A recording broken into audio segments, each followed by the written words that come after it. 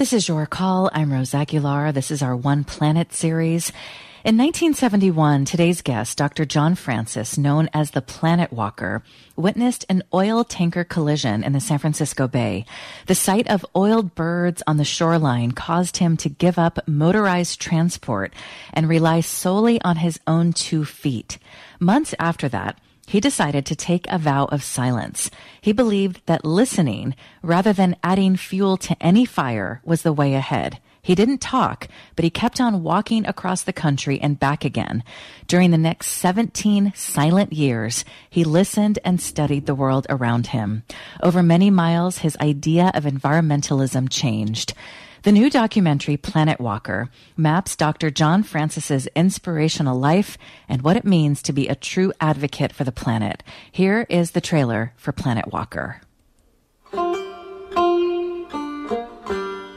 Whenever I see somebody who might be interesting, I walk up to them and say, You look interesting to me. What's your story? I saw John walking along, and I could tell by his gait that he had been walking a long distance. As he's walking toward me, I see him take out this little pad and tear off the sheet of paper. It says John gave up the use of motorized vehicles not long after an oil spill in San Francisco Bay in 1972. Since 1973, he has maintained a vow of silence. I kind of wonder, well, what? Why would you not want to talk when you can? I said, I don't believe I can keep my mouth shut that long. There's nothing that John Francis wants to do more than communicate. But the truth is easier to find, he says, when there are fewer voices shouting for attention. You know, he had a purpose in protest to both stop riding in vehicles and then stop arguing with people. He wanted to listen. Ten men slain across the ocean. They had shackles on their legs. You can't talk about civil rights in the United States, or for that matter, anywhere in the world, without talking about people walking. It's not standing still. It's not sitting down. It's something about the motion of people actually moving forward to advance justice. In those days, you could easily lose touch with people. And, you know, I lost touch with John. He walked on. He was taking a risk with his life. That would always be a conversation at our dinner table. Hope he's okay. Did you get a letter from him today? I have to say there were doubts sometimes when people said, you know, one person can't make a difference. I am just a black man with a banjo. I think we just make that commitment to make the journey. That is the trailer for the incredible new short documentary Planet Walker. If you are in the Bay Area, it'll be screening August 9th through the 15th at the Smith, Smith Rafael Film Center in San Rafael. After attending the screening, there will be a Q&A with the film team and Dr. John Francis following the 6 p.m. screenings. Find more information at kalw.org, click news, and then your call.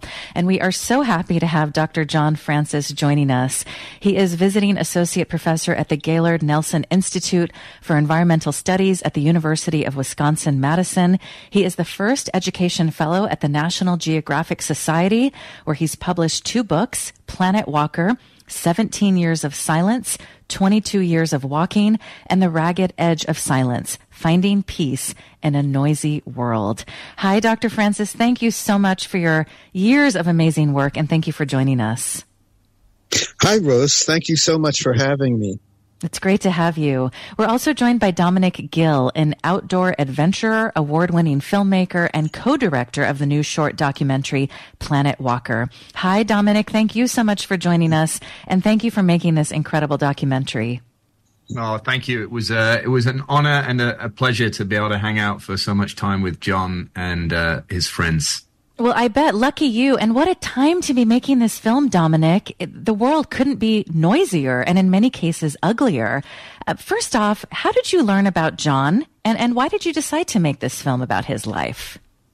Yeah, great question. Well, actually, it was my wife that came across the story. She is an, an avid reader of all uh, the written word, and I believe she was perusing a news article one day, um, not uh, very long after uh, the sort of George Floyd era, I would call it. And um, she read an article about John. And as we do with most of our stories, we we sort of you know keep our ear to the ground with regards to you know captivating stories that fall broadly within our our wheelhouse. Which and I, I would say that we're kind of environmental and outdoor storytellers. And we did a little bit of digging, and to our astonishment, found out that no one had actually made a documentary about John uh, before. And so, you know, that was that was the point at which we kind of uh, galvanized our energy reserves and uh, ended up meeting John and and uh, and going ahead with him. Hmm. And John, what was it like for you to take part in this project and then see the end result to watch this documentary? Well, it was, a, you know, a, um, a very pleasant process, I have to say, because Dom and Nadja were, you know, are just really wonderful people to work with. Um, but uh, there were some, you know, it was arduous. It, it took a long time, and uh, we had to uh, look for some archival footage that were able to uh, come across. I had kept a lot of uh, the footage that had been taken of me on my walk across uh, America. And so we were able to use that and some friends sent in what they had and we put that all together. Uh, and, uh, you know, I left the artistic, uh, vision up to the filmmakers. I mean, I would, uh, add my, few cents of what I thought and what I would like to say. And, I left it up to them uh, how to say it and and what to to leave out, what to leave in, and you know, for uh, a a life uh, to be able to put a life into 31 minutes and have the protagonist look at it and go, "Oh, that's a good job." I think that's that's remarkable. You know that the filmmakers were able to do that. And John, I have to say, watching this film at a time when the world is so loud and there's so much noise. and with this presidential election and the, the ongoing racism that we see, I mean, people are just so frightened and concerned and there's depression going on and anger, lots of feelings right now. And then you look at what's happening with the climate crisis. Mm, what yes. a time to put out a film like this and to spread this message that maybe we all need to just stop and listen more. Well, you know, I think that's true. I think we need to stop and listen. And, and of course, the, um, I mean, I had listened to, to everyone uh, walking across America, but really, uh, I thought that, um, as a black man walking across the United States, um, with a banjo and not speaking, that there was a, an, an inordinate amount of kindness shown to me which um, I think uh, led to my successful uh, crossing of America and being able to stop and go to school and study. That uh, kindness transcended politics and political ideas and uh, racial issues and racism and a lot of social issues that uh, we put in front of ourselves or in between ourselves that block us from actually uh, being human to one another. So kindness, I found, was the the as it, it says in the film, the special sauce. It was also interesting to learn more about your family who said, okay, we can understand John maybe not getting in a car and driving, but not speaking, that one is, is difficult to wrap your arms around. Why did you decide not to speak? And, and to think that you went for 17 years not talking at all. Yeah, I didn't. I didn't know that I was going to not speak for 17 years. It was my my 27th birthday, and I thought I was going to do it for just a day. And um, the lessons that I received uh, for that day of not speaking um, propelled me into not speaking for uh, a, a, few days more and then a week and eventually a year and then uh, ultimately uh, 17 years because um, I realized that I had stopped listening and I had stopped learning. And so uh, I used uh, listening to, to learn. And, um, and once I ended up uh, on the other side of the country, um, and I had studied and I had uh, reached the, my um, uh, from the University of Wisconsin Madison a PhD in environmental studies. Uh, I had something I thought to say, and it was about um, how if we're part of the environment, then how we treat each other is really our first opportunity at uh, understanding what environment is and sustainability, or even getting a, a, an idea of what sustainability is, is in our relationships with ourselves. Because for me, an environment had changed from being just about pollution, which is you know, why I stopped riding in cars and a, and a, a very important part of, you know, our environment. But it, it changed to become also about people and, and human rights and civil rights and gender equality and economic equity and all the ways we related to each other because how we related to each other would manifest in the physical environment around us. And so if we oppressed one another, if we exploited each other, that was going to come back onto us in ways of looking at climate change and loss of species and habitat and all the other things that we are trying to get our hands uh, hands around and our heads around. Well, and sadly, John, you're you were right about all of that. I mean, to think that you wrote your dissertation about oil spills, you said you never thought you'd get a PhD, but you did get it. And at that time, you were not talking. You weren't talking when you got your degree in science and math at Southern Oregon State College. Given all these experiences that you've had, John, in listening, traveling across this country, what are your thoughts about where we are today with the climate crisis? I was just watching videos of mass, mass flooding right now in Florida. Yeah, yeah. Well, I mean, I, I, I keep a positive outlook on that. Um, as I, I was a railroad brakeman for the B&O C&O uh, when as a young man, and one of the things that we would try to we would we would have to do sometimes is to, to stop the train, and we just would, you know, the train just wouldn't stop because we wanted to stop it. It would take miles for one of the large trains to stop. And, uh, and I think, you know, inertia and the climate crisis is like that. Even if we stop doing all the things that are adding to the uh, climate crisis, it's going to take some time. But I believe being kind to each other is, uh, you know, key because we have all the technology, but how do we use that technology? Do we use it for the benefit of, of all people? And can we cooperate and love and care for each other?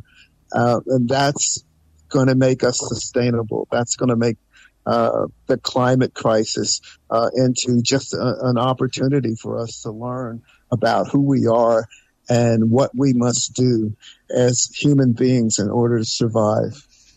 And Dominic, after spending so much time with John and putting this film together and doing Q&As with people, again, what a time to have this experience. How has this really changed you and your outlook on where we're going?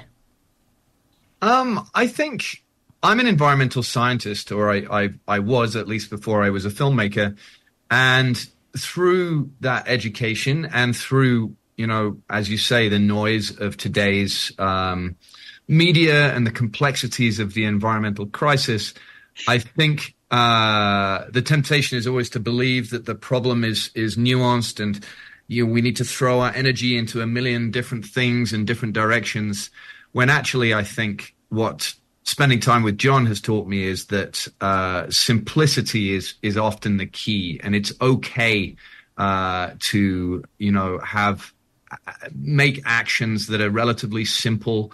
Uh, kindness, for example, is is something a lot of people would think is sort of a little naive uh, and simplistic. But I, I, really think it's okay to start there rather than get uh, overwhelmed by the million possibilities that are, are put put in front of us often. Hmm. Dominic Gill is an award winning filmmaker and co director of the new short documentary Planet Walker, which is about today's guest, Dr. John Francis. In 1971, he witnessed an oil spill in the San Francisco Bay. The sight of the oiled birds on the shoreline caused him to give up motorized transport and rely solely on his own two feet. And months after that, he took a vow of silence. He believed that listening rather than adding any fuel to the fire was the way ahead. And if you're in the Bay Area, you can see Planet Walker August 9th through the 15th at the Smith Rafael Film Center in San Rafael. And after the screenings, there will be Q&As with the film team and Dr. John Francis following the 6 p.m. screenings. You can find more information at kalw.org. Click on news and then your call. John, you you give talks about your experience. I just wonder what it's like for you to interact with young people who are very very concerned about the climate crisis. I mean, they have access to more information than we all had when we were young. So what has that experience been like for you? What what's what stands out for you? Um, I, I think what stands out for me is the fact that they are uh, really inquisitive and uh, want to make a difference. And that when I say to young people, I say, you are the future. I, I, I really mean it. they are our future and, and I want to treat them as, as such. And so, um, how would we treat someone and how would we treat, uh, knowing, knowing that the people that we're talking to, that we're speaking with, that uh, we're listening to are going to be the future of us. And how do they respond to that? Uh, it's uh, been very heartening for me. I mean, because I, I can't do this forever. be the planet walker. So I'm I'm looking for uh, many many planet walkers to to to come out of the of my interactions with young people. And what about today's environmental justice movement, John? I mean, young people are really just bringing so many different issues together, and you know, just talking about the fact that it's all connected. Yeah, the intersection of you know intersectionality of all of these things um, is is paramount, and it, it's key to understand that there's nothing, everything that we do is connected and how we treat each other. And when I say that, it's really going to manifest in the physical environment around us is part of that connection. Um, and if we want to see the world sustain itself, we want to be part of that sustainability, then we're going to have to act as though we are all interconnected. And John, again, to to think that you walked around this country not talking. I mean, I hope everyone can see this film because it's amazing. People in their trucks would stop to talk to you and you would sign. You would say, I'm walking. And eh, to think that as a black man, you did this in the 70s and 80s I mean, we can spend hours probably talking about your experiences. And I wonder when you look back at that time and then you look back at, look at what we're dealing with today and how, I don't want to bring him into this conversation, but, you know, Trump and the racism that we hear and just this conversation about race in this country. How, how do you see it given your experience? Well, you know, I mean, I, I, I am a black man and I have that history uh, of uh, what racism, segregation, what that what that is, and uh, sometimes I look at it when people are around me that they are. Um, I don't try to change their mind. I see them as a uh, not an obstacle, but a lesson for me to understand um, that this person is also a part of who I am. And how do I, how do I take that information? How do I take that and make that okay? Uh, and how do I treat that person? How can I not hate that person? Uh, it's a practice. So that person allows me, being who they are, for me to be who I am. And so if they're a racist, then I'm that much more not a racist. and that's all I can say. You know, I, you know, I deal with people and I think I've been really blessed to be able to go to many, many homes and houses where people were people that my parents might have been afraid for me if I would stop there and sleep there. Hmm. But um, here's where I think kindness is, um, transcends that and allows us to see our humanity. So not only me, but for the person who is being kind. Hmm. Wow, we we just need to hear this message more, especially now. Dominic, you and your team captured all of this so beautifully, mm-hmm. and we especially loved the animation. So, can you just end with a note about what people can expect? Just the film is so beautiful, and the animation just adds so much to it. And we have about a minute left. Sure. Well, thank you for saying that. It means a lot. Um, we were lucky to have a a amazing team, including Remy in uh, in uh, Belgium, actually, who did this incredibly beautiful uh, animation, which I think does John's story justice. But really, uh, it's a mixture of you know John's own interview, which which ties the whole thing together, and a hard a large cast of his friends that he bumped into and met on his journey, uh, archival footage, and uh, yeah, this animation which really tells uh, a lot of these past stories in in beautiful Technicolor. Um, yeah, a film about kindness. I think it feels mm. feels kind.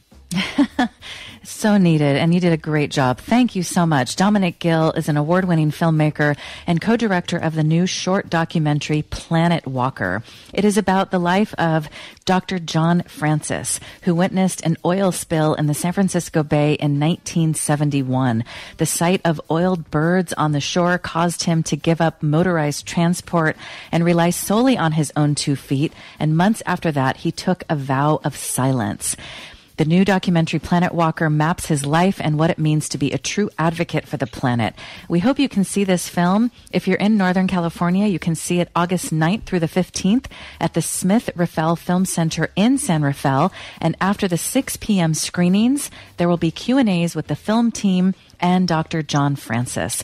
Dr. Francis is visiting associate professor at the Gaylord Nelson Institute for Environmental Studies at the University of Wisconsin Madison. He's also the first education fellow at the National Geographic Society, where he's published two books, including Planet Walker, 17 Years of Silence, 22 years of walking. Dominic and Dr. Francis, thank you so much for joining us. We would love to have you back. Thank you so much. Thank you. Thank you, Rose. Thank you. Thank you so much. And you can find the trailer at kalw.org. Click on news and then your call. Thank you for joining us. I'm Rose Aguilar. It's your call.